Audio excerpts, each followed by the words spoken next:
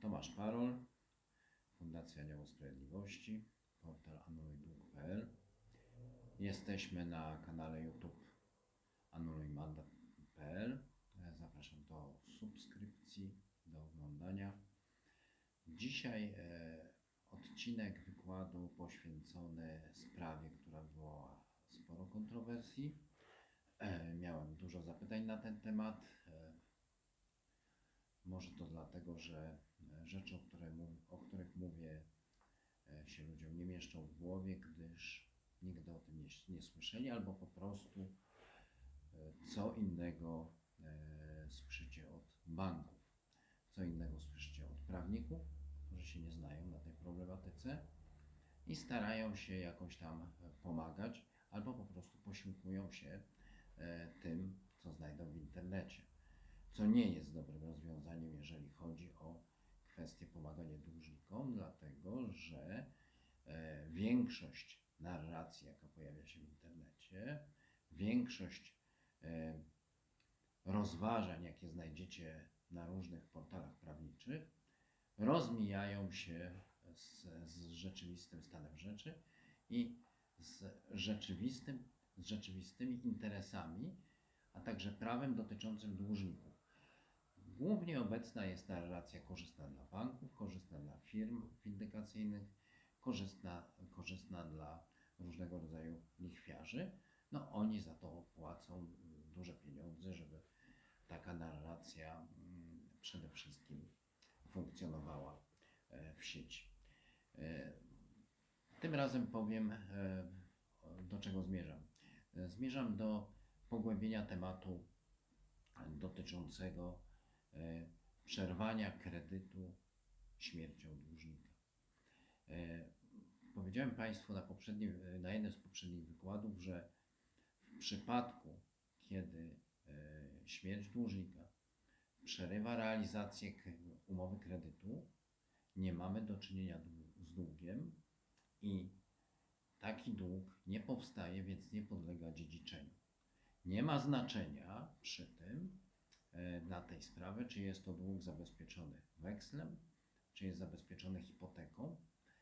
Nie ma długu, nie ma dziedziczenia, nie ma więc zagrożenia od strony, powiedziałbym, formalno-prawnej e, w stosunku do e, spadkobierców osoby zmarłej.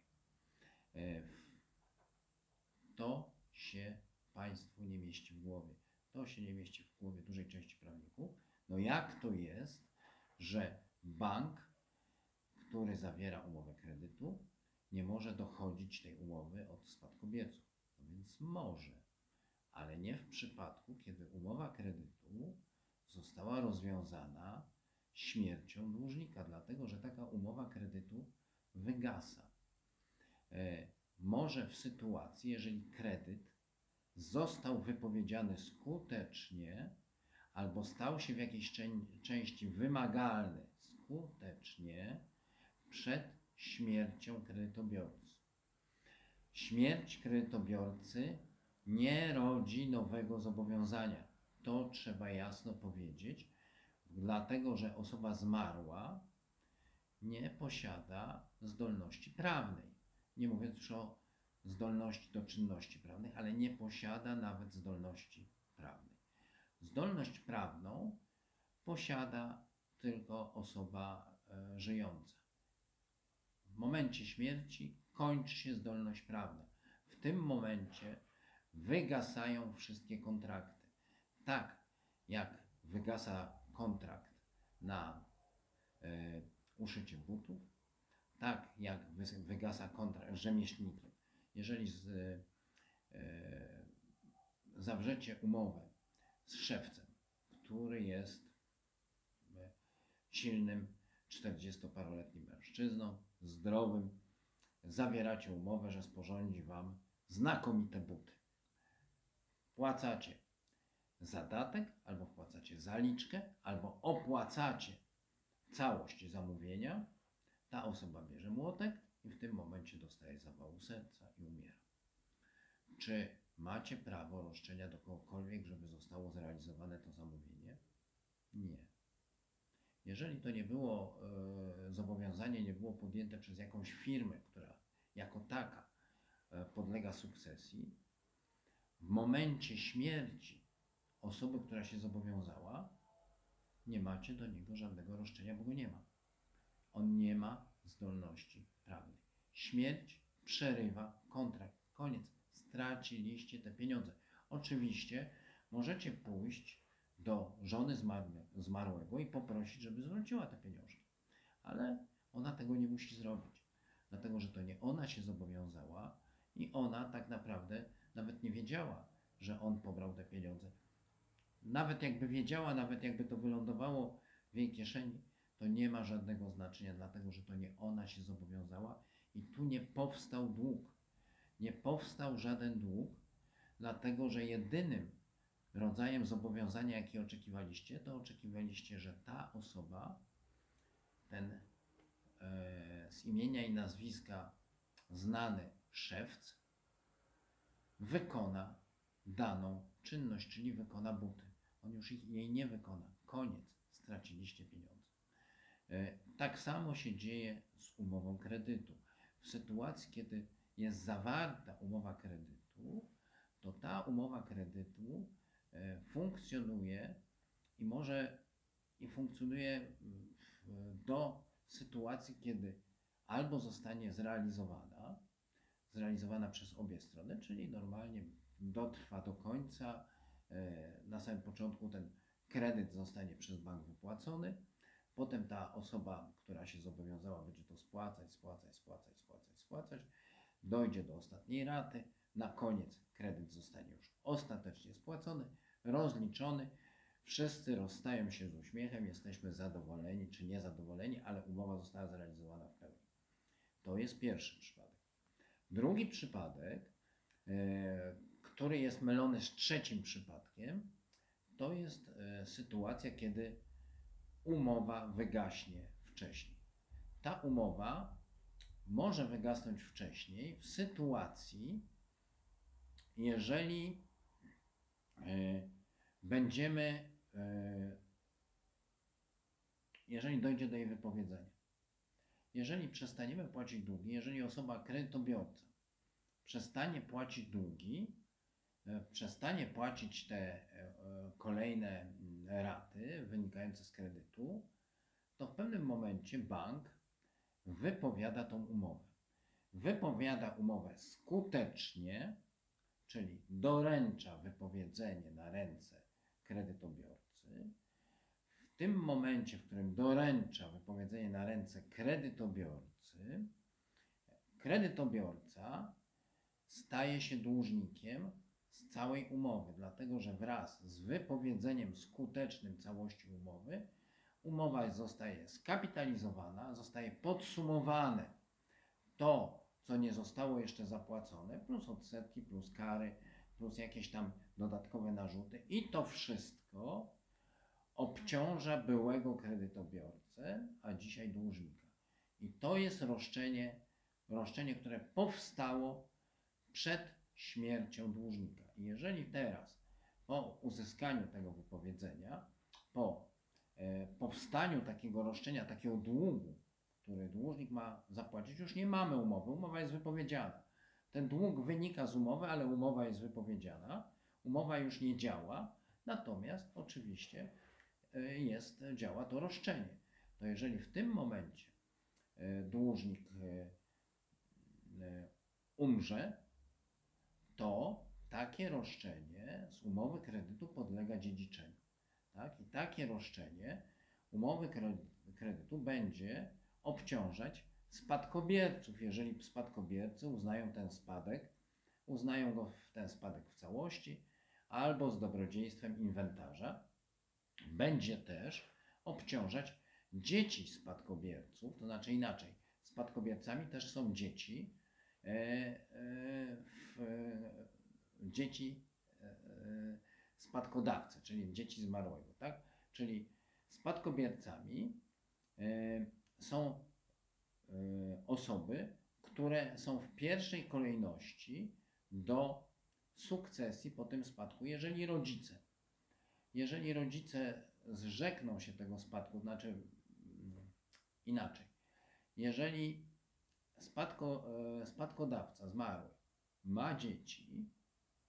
I te dzieci też są rodzicami, bo mają mniejsze dzieci, to jeżeli dzieci spadko, spadkodawcy zmarłego przyjmą spadek, no to to oni przyjmą spadek po prostu. Natomiast jeżeli oni e, odmówią przyjęcia spadku, to muszą też odmówić w imieniu swoich dzieci, bo inaczej spadkobiercami staną się dzieci, nawet małoletnie są spadkobiercami. I trzeba tego pilnować. E, e, To jest bardzo ważna rzecz. Ale mamy do czynienia oczywiście z sukcesją długów, dlatego że umowa kredytu została skutecznie wypowiedziana i powstało roszczenie przed śmiercią kredytobiorcy, przed śmiercią dłużnika. Natomiast tutaj mamy sytuację, kiedy umowa kredytu jest realizowana przez dłużnika, przez kredytobiorcę. Kredytobiorca nie jest żadnym dłużnikiem, tylko jest kredytobiorcą. Ma z, zawartą z bankiem umowę, ważną umowę kredytu i on tą umowę realizuje.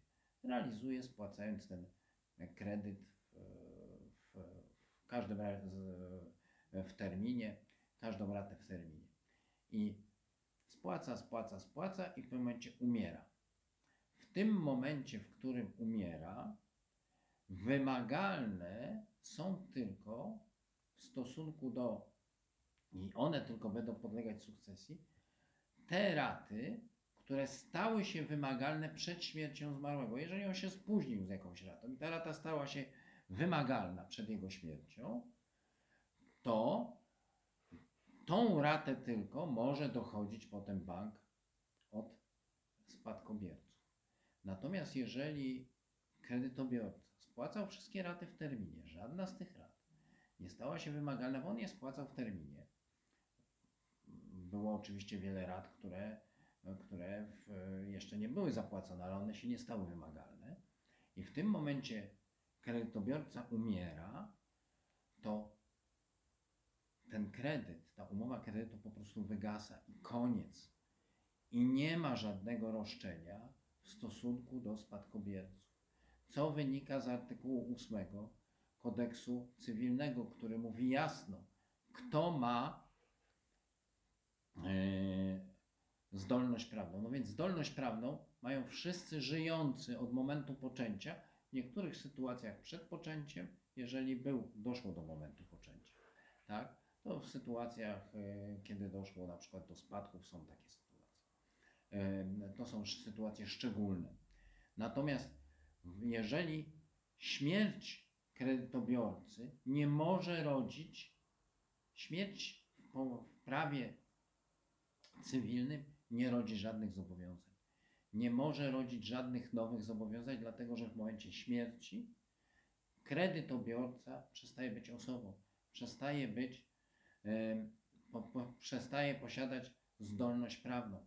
Nie może tworzyć, nie będąc już człowiekiem, będąc zmarłym, nie może tworzyć nowych zobowiązań. Śmierć przekreśla tą umowę. I to nie jest ważne, że umowa dotyczyła nieruchomości, na której jest hipoteka. To nie jest ważne, dlatego że aby skorzystać z tej hipoteki, bank musi, musi mieć, musi wystąpić z e, roszczeniem, które jest zasadne, z roszczeniem, które obowiązuje, z roszczeniem, które jest wymagalne. Natomiast tutaj nie nastąpiła nigdy sytuacja, że w stosunku do osoby zmarłej było jakieś wymagalne e, roszczenie, bo on wszystkie zobowiązania rea- e, regulował w terminie.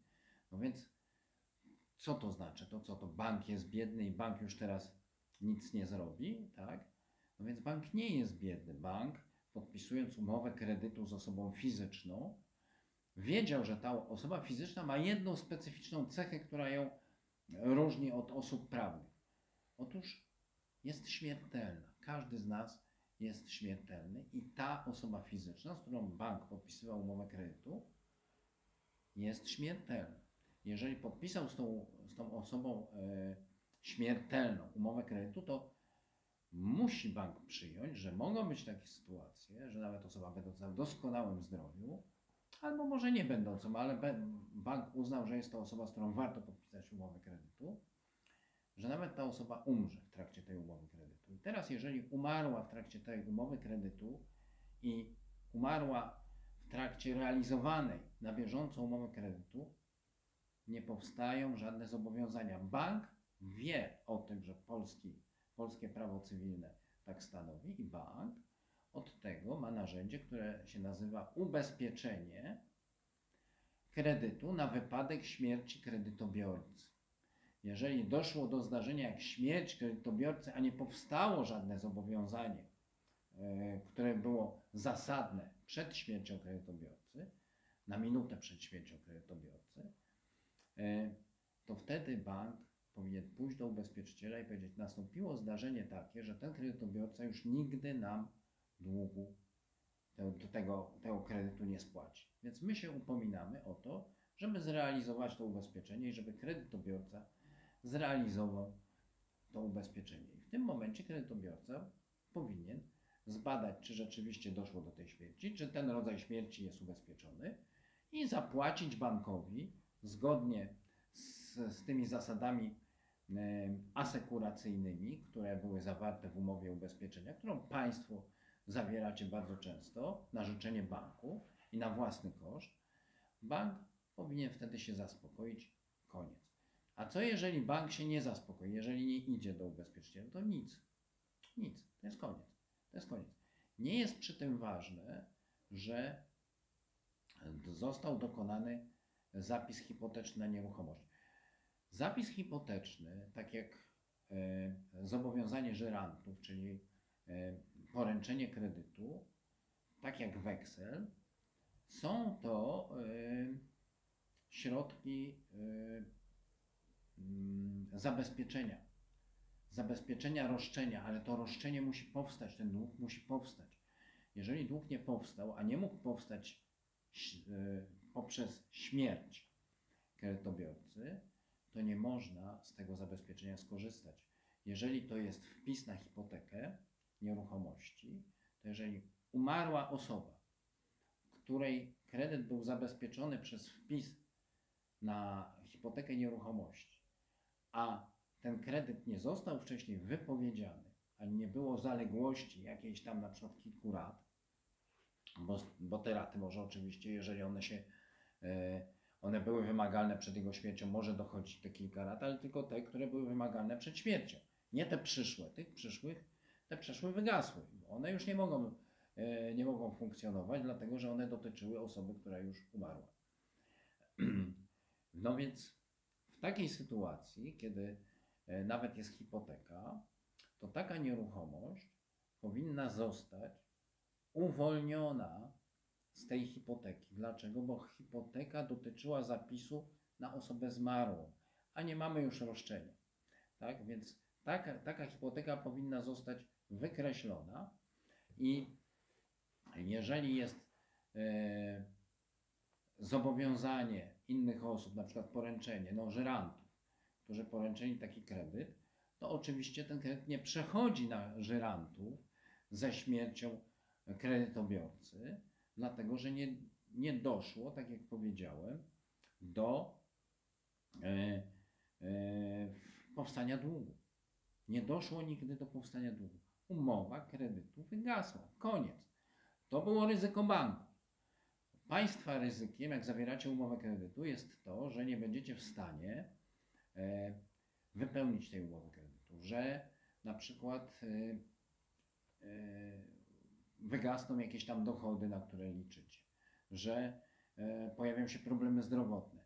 No, może być tysiące przypadków, e, może być wojna, która zmieni zasady funkcjonowania gospodarki, zmieni zasady funkcjonowania waszego biznesu, tak? z którego żyliście. Więc to są wszystko sytuacje, które dotyczą ryzyk kredytobiorcy, ale kredytodawca, bank, też ma swoje ryzyka. ryzyka. Jeżeli podpisuje umowę z konsumentem, jeżeli podpisuje umowę z osobą fizyczną, jego głównym ryzykiem jest mm, śmierć kredytobiorcy, no ale może się oczywiście przed takim ryzykiem zabezpieczyć, zawierając właściwą umowę ubezpieczenia. Tylko, że bank jest chciwy, więc bank za, zawiera umowę ubezpieczenia nie po to, żeby z niej korzystać, bo wtedy ona by była droga, jakby z niej korzystał, tylko tak jak ja już wyjaśniałem, po to, żeby e, obciążyć, e, żeby sprzedać to, to ubezpieczenie, obciążyć e, tym ubezpieczeniem kredytobiorcę i potem bardzo szybko zarobić już tak naprawdę w pierwszym miesiącu, w momencie wypłacenia pieniędzy, żeby mógł sobie potrącić prowizję od sprzedaży tej, tej umowy ubezpieczenia. Umowa jest taniutka. Dlaczego? No bo bank z niej nie korzysta, bo ona zawiera takie przypadki, które nie wejdą w życie, albo bank e, nie pójdzie z tym do, ubezpiecze, e, do ubezpieczyciela. Tak? tak to wygląda. Więc jeszcze raz powiem, nieważne, że macie, że kredyt zmarłego został zabezpieczony e, hipoteką, że dotyczy nieruchomości. To jest nieważne. Nieważne, że tam byli żyranci, to jest nieważne. Jeżeli umowa kredytu została przerwana śmiercią kredytobiorcy, nie dochodzi do powstania długu. A jeżeli nie dochodzi do powstania długu, to nie ma sukcesji długu, nie ma, nie ma obciążenia spadkobierców, nie ma obciążenia, nie ma dochodzenia tego długu e, z, nie, e, z nieruchomości, e, z hipoteki, bo ten dług nigdy nie powstał. Jak sobie z tym ba- banki radzą? Ja o tym wspominałem. Radzą sobie w ten sposób, że oszukują państwo, że spad- oszukują spadkobierców, twierdząc, że w momencie śmierci kredytobiorcy powstaje roszczenie banku na pozostałą część umowy i że spadkobiercy powinni wziąć na siebie obowiązek spłacania tej umowy kredytu. To jest nieprawda. Kredytobiorca wziął umowę, e, e, wziął, podpisał umowę kredytu tylko dlatego, że to on potrzebował środki na swoje cele i to on się godził na takie, a nie inne warunki zawarcia umowy kredytu. Państwo, będący spadkobiercami, czy państwo będące żyrantami, nie macie obowiązku wchodzić, przejmować tego długu. Zasada jest taka, że dług nie istnieje, chyba że ten dług właśnie z przerwania, chyba że ktoś dobrowolnie e, uzna to roszczenie. Czyli bank sobie wymyśla, że to teraz proszę tutaj przyjechać, bo tutaj została mm, e, osoba zmarła, miała umowę kredytu, proszę przyjechać, tutaj proszę podpisać dokumenty, że pan zrealizuje tą umowę kredytu, bo inaczej pójdziemy do sądu. To idźcie do sądu. To idźcie do sądu, nie będzie komornika, a w sądzie przegracie, dlatego że nie ma w Polsce możliwości dochodzenia e, pozostałej części umowy kredytu, czyli przypisania do umowy kredytu kogoś na siłę w zamian za zmarłego. Nie ma w Polsce możliwości dochodzenia roszczenia, które powstało w, z powodu śmierci kredytobiorcy.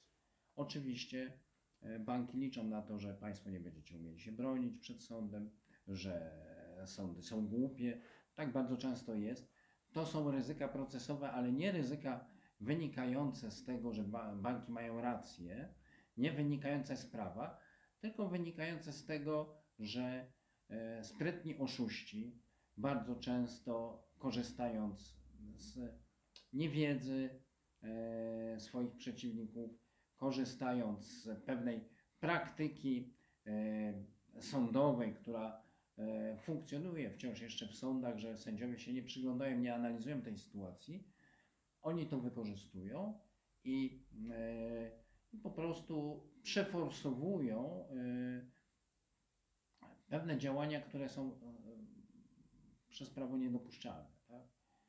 Sądy się mylą, ale trzeba zrobić wtedy wszystko, żeby sądowi pokazać hola hola. Jaki dług? Przecież ten kredyt został przerwany śmiercią kredytobiorcy. Jeżeli został przerwany śmiercią kredytobiorcy, żaden dług nie powstał. Nie powstało żadne roszczenie, które podlegałoby dziedziczeniu. Bez względu na to, czy jakiś jeden bank e, tak twierdzi, czy jakaś firma windykacyjna tak twierdzi, czy twierdzi jakaś ważna w ten sposób kancelaria prawna, to są, to jest tamta strona, która chce po prostu Państwa ubrać te długi. Więc ja przestrzegam. Po pierwsze, nie bójmy się takich sukcesji, tylko pójdźmy do prawnika. Po drugie, w sytuacji, kiedy się zgłasza bank i mówi, że właśnie była umowa kredytu, która była podpisana przez kredytobiorcę, ten kredyt- kredytobiorca umarł w trakcie jej wykonywania, a przecież na tej umowie kredytu jest, tam jest hipoteka i nieruchomość, nie musicie nic podpisywać i nie podpisujcie w. To nie jest wasza sprawa. To było ryzyko banku i bank ponosi konsekwencje. I mógł uniknąć tych konsekwencji, ubezpieczając się we właściwy sposób. Zmusili do takiego ubezpieczenia, no to niech z niego korzystają. To nie jest wasza sprawa. Jeżeli takie roszczenie będzie do spadkobierców, to po prostu trzeba się przed nim bronić. Podobna sytuacja jest, mm, e, gdy to są kredyty na samochód. Oczywiście samochód jest własnością, był własnością kredytobiorcy, bo to było e, wpisane e, w CEPIK 2, to było w, to było w aktach własności, to było zgodnie z umową. Kredytobiorca wziął tylko kredyt na ten samochód, ale samochód jest włas- własnością kredytobiorcy i samochód podlega e, dziedziczeniu. Tak? Natomiast nie ma długu w związku z, wyga, z wygaśnięciem e, w momencie śmierci dłużnika umowy kredytu, więc nie ma roszczenia, nie ma długu, e, nie ma, nie ma mm, e, spadkobierca nie ponosi odpowiedzialności finansowej za e, realizację, da, m, za dopełnienie czy brak dopełnienia tego kredytu. E, e, Różnie może być w sytuacjach m, e, leasingu, dlatego że to wszystko zależy, czyj jest mm, zgodnie z umową w takiej sytuacji, czyj, czyj jest pojazd.